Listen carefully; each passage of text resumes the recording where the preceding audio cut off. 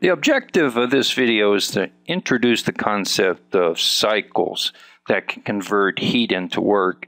And we'll describe first the Carnot cycle, which is going to be the best that we can do, the ideal cycle, and then describe the Rankine cycle, which is a way of practically carrying out the same process. So, so these are steady state cycles, and this is important that we're running a fluid around a cycle. So at any given point, things don't change time. It's then continuous flow of a fluid.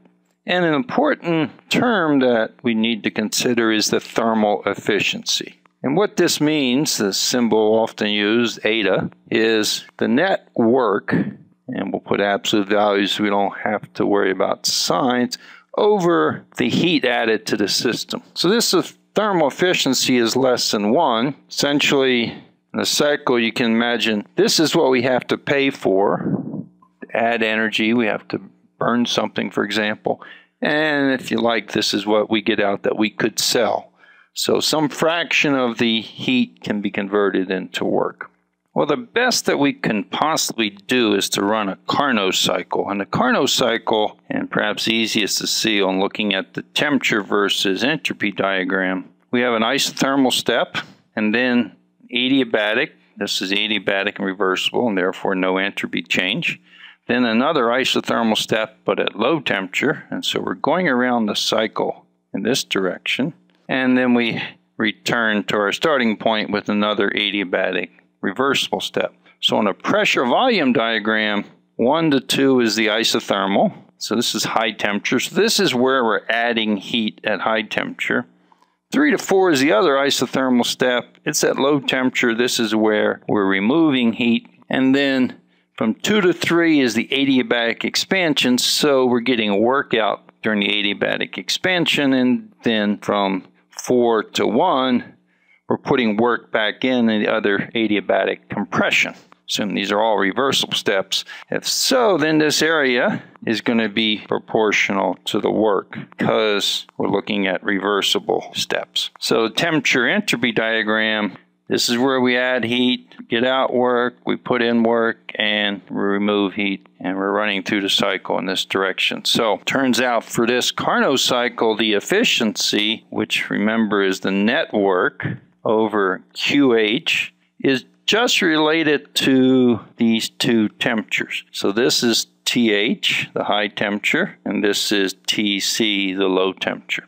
Well, it turns out for practical reasons, we really can't run a cycle like this. The way we run a cycle is, for example, using steam in a Rankine cycle.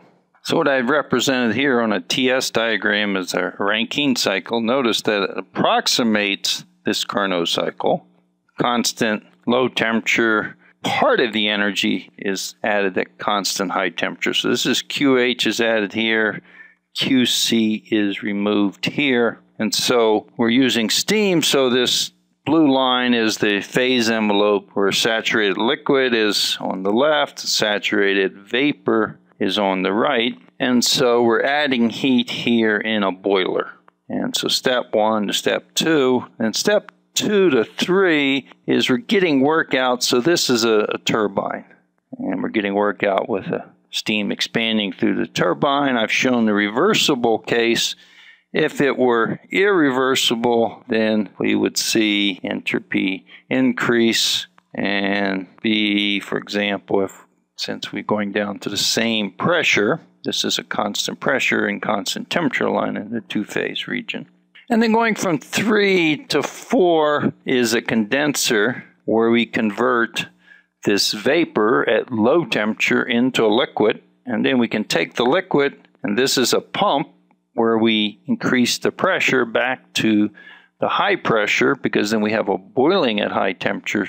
And then we, starting here, actually point one should be here of entering the boiler, heat it up to boiling temperature, phase change at constant temperature. So point out when we go through the turbine, we're lowering the pressure. So it's a lower pressure at the exit. And it's a lower temperature at the exit because we've taken energy out in the form of work and therefore we've taken energy out of the steam. So we can apply the first law to each of these steps in this Rankine cycle. We have a boiler in which delta H, because it's a flow system, is equal to the heat added. Heat added is greater than zero. And then the turbine work is equal to delta H. And this is less than zero because we're taking energy out. The condenser, QC, is equal to delta H. And again, delta H is negative. We're, we're taking work out. And then the work of the pump, well, it's going to be delta H, and it's small number. turns out V delta P. This is adding energy. This is positive. Drawn where in the diagram we have the reversible case, which is the vertical line, or this one is the irreversible case. And so the work for the irreversible case is going to be some efficiency of the turbine times the work for reversible case. So this is different from the overall efficiency of the cycle. This is due to the fact we run it irreversible. We need to know something about the process. We're running to the same final pressure, but we're going to end up not removing as much energy because the efficiency is less than one for the turbine.